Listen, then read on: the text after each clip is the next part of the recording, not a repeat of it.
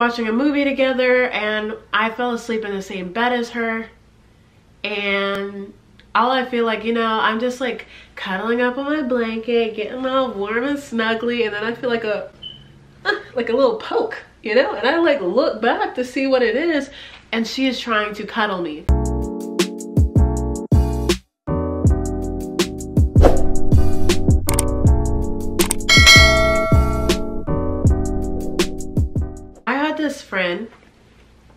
Uh, we have been friends for maybe like a total like two years and I'm really introverted. I'm really quiet, stay to myself. If you guys have not watched my video on the art of being alone, understanding why I do that, why I am the way I am, I'm gonna leave a little link right here so you guys can just click that right there.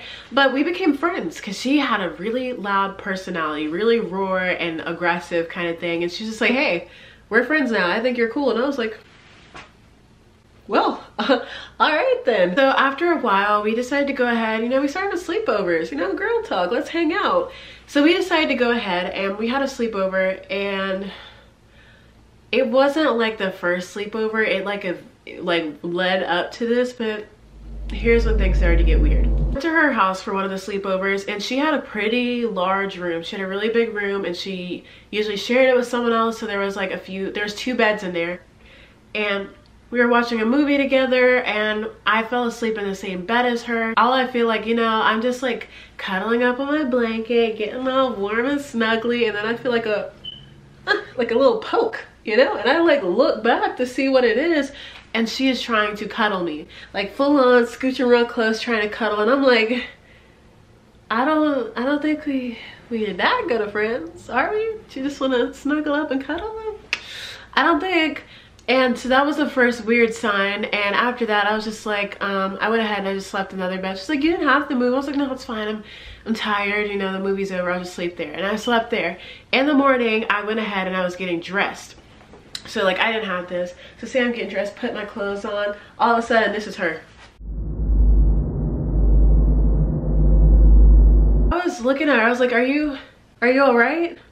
I was like, is there something wrong or anything? And I'm, you know, still getting dressed. And she was just like, I like your underwear. They're cute. And I was like, um, for one, it wasn't even a matching set, bra and panties or anything. There were nothing special about them. And I was just like, huh, it's a little odd compliment, you know? But I just went ahead and I got dressed. After that, it was time for me to leave. I just went ahead and I went home. Left that alone.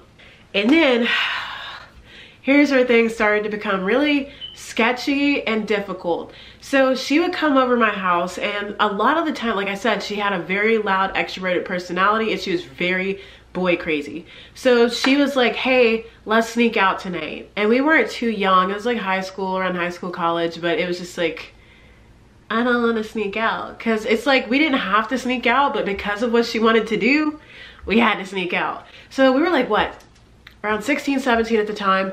And she was just like, um, there's these two guys that really want to like meet us. I found one for you. And she gave him my number and he was like texting my phone like on some weird, crazy stuff. Like, oh, hey baby, I really want to like see you.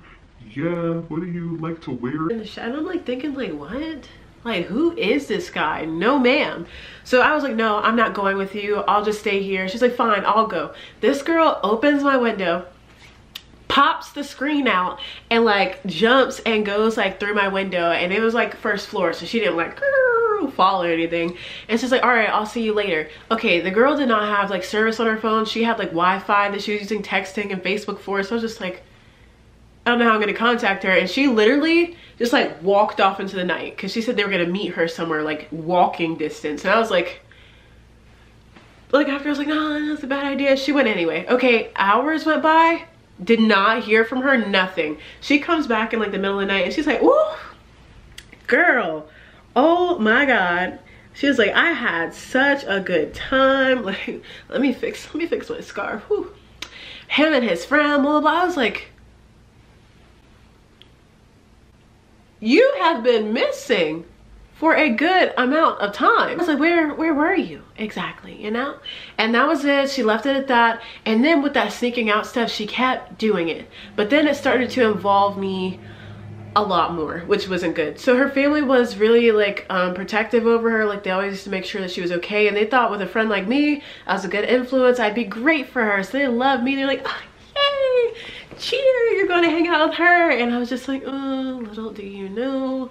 So she came over one time and there was this guy that I knew. A lot of the men, like always, let me just go ahead and mention, she liked them older.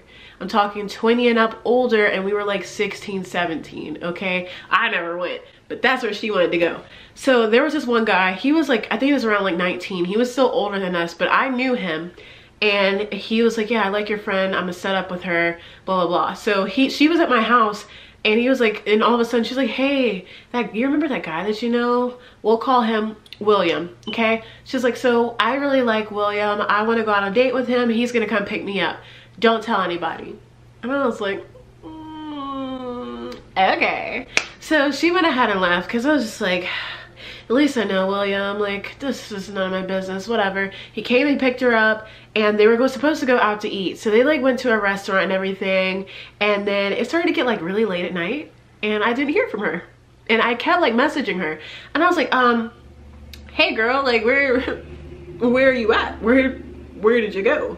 And then she never replied. And then the guy got a hold of me and texted me. He was like, yo, where did your friend go? He was like, she said, you know, she wanted to do some things after we like went out to eat and that she'd get us a hotel. She did have money on her. She brought a lot of money that day and she like showed it to me.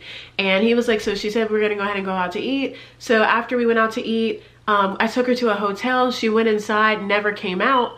And whenever I went and asked the desk about her, they said that, that she wasn't there. And I was freaking out, didn't know what happened to her. I'm calling, texting her. I'm like, she if she is at that hotel, she has Wi-Fi to text her, call me back. Like, what is going on? I'm worried about her. Her parents start to call me. And the lies she told me to tell her parents were that her cousins picked her up. And I told her parents that, and they were like, she doesn't have any cousins, or oh my God, that awful cousin. I'm like, I don't know, she'll, she'll be back, she's fine. And finally, like I'm worrying about her all night, morning comes. And she calls me. She's like, oh my God, girl, I had the best sleep. I'm like, where the hell are you? Why have you not called me? Like, what are you doing? He said that you like he can't find you. You like disappeared from the hotel. She's like, ah, ah. I, she's like, I was playing him. I didn't want nothing after that dinner. She said that she went inside the hotel, got a room for herself for the night and then told the person, the desk receptionist that, hey, this guy keeps trying to look for me. If he comes in here, please tell him that I'm not here. Tell him you don't know anybody by that name. And that's what the receptionist did. And I didn't even know. I was like, hmm, what was her name? I was like, Susan. What, like, you were wild. Like, what? She's like, don't worry, I'm on my way home. I'm like, well, your parents called. She's like, oh, they'll be fine. That's how I knew something was off. That's how I knew she was a little crazy. After that, this is when like our friendship started to like unravel because then it would be like a lot of calling me a lot of texting me always facebook messaging me who are you with? If i had other friends or other best friends she'd be really mad and be like my best friend my this she'd be like oh you're hanging out with this person. Like it became really weird and it was always like hey Ally what are you doing? What are you doing? Oh you're with her? I'm your best friend. And she would say that so many times. Like people would come up to me and be like hey best friend she'd be like i'm her best friend. Like she was very very aggressive about it and i was just like there's enough best friends for everybody. But after that, so the thing that like really broke the pig's back. So with the boyfriend that I had at the time, she came over, we were all hanging out because she's my friend, you know, I wanted my boyfriend to like meet her. And we're hanging out, we're having a good time. And then all of a sudden, like it was like, it wasn't even good time. I don't even know if there was a good time, but she asked to have a threesome with me and my guy. When he's with me, when like we're all just together, she's like, yeah, did she really just ask that? You know how disrespectful that is? Including when we never talked about anything like that. She knows I don't do that. I'm simply one and done, jealous AF, and that's what that's what we do i was so mad like after that i tried to play it cool she had to go that night she left she had to go i was just like and then she like after that she like um, was texting me telling me like how cute he was and stuff and I was just like oh honey no. And then after that we started we like got over that we were still friends and she came to my house one day. So mind you this is scary. I was in the shower you know and then I got out the shower on, hopped on out And then all of a sudden, the lights went out. So I hopped out, you know, I put my towel on, I hurried up, and I'm like looking like I'm listening because the whole power went out. And I'm listening and I did not get out the bathroom door because I didn't know who it was. And all I hear is, Ally, let's play hide and seek. I'm naked. I was like, this bitch is crazy. Did she turn the lights off in my house? And then she came like to the crack of the door and I opened it to see like if she was joking and the girl was butt naked. I was like, oh no, go put some clothes on. Like we, we shut that down real quick. And then like after that, so it turns out she went to like the power box, like the box in the house, not flip the light switches off, went to the power box that was in the back of the house and cut all the power off.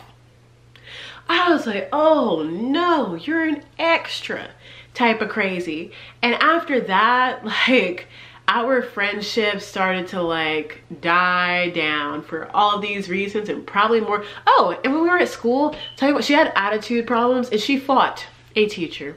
She literally fought a teacher and got um, suspended and kicked out of our school. So that's when we started like just hanging out a lot more because we couldn't see each other at school. That girl was crazy. And then do you guys want to know how this story ends? You know, I won't even go into details, but the girl, you know, I told you she liked to kick it with some older fellas. Um, she ended up committing a crime. I won't say what the crime was. She ended up committing like a crime and literally having to spend two, three, between one and three years in jail like she went to jail and I tried to contact her while she was in there because I was like, I don't want to be that person. Like you're in jail, you have nothing, you have nobody. And I tried to call her. Well, I didn't try to call her, you can't call there. But I gave like someone close to her, like a family member, like my number. I was like, give this to her so she's like able to call me. And she never called me. So I don't know if they ever gave her my number or not. And I think like she might be out now, but that was the end of that there and that was my crazy ex best friend that was digging me and liking older men and sneaking out and lying. Oh and she loved guns. It was it was a lot. But if you guys enjoyed this story don't forget to like subscribe and comment. My next story that you guys requested is going to be the time that i was stalked by this psycho guy. He was ex-military, everything. I might even like insert, I won't put his picture in there. I'll put like part of him in there because his physique and everything about him was really creepy, really scary. That'll be in my next video. Make sure to stay tuned. Turn those notification bells on, guys. What are you waiting for? We got good content coming in and we ain't stopping. Have a good, amazing day, such as yourselves. Don't forget that I appreciate you and your existence matters.